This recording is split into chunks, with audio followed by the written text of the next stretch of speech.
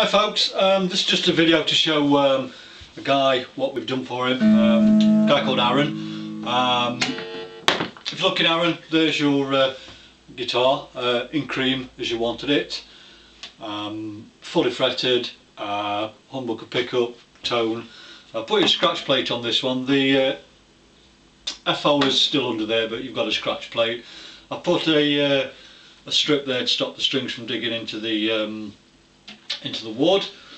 Um, one, two, three, four, five piece uh, head, uh, profiled neck and um, good quality machine heads on there. Put all the eight corners on for you as well just to uh, protect it.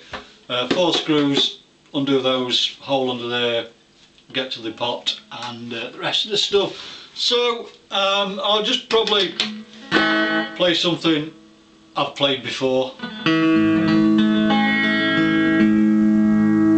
Quite a sweet sound this one, a lot of um, resonation on it, it uh, uh, sustain sorry.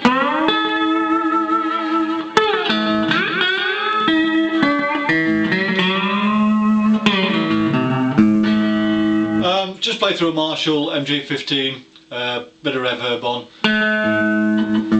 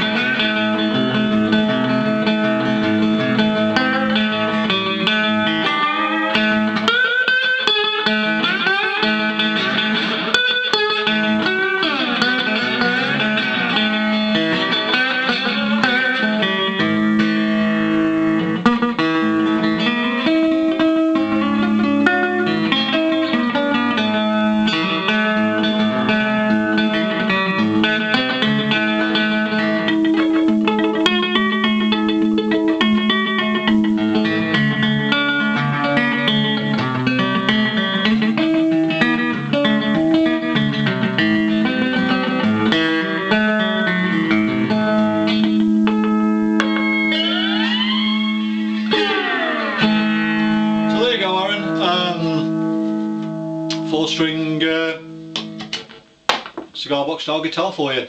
So as promised we'll see you tomorrow with that one. So cheers!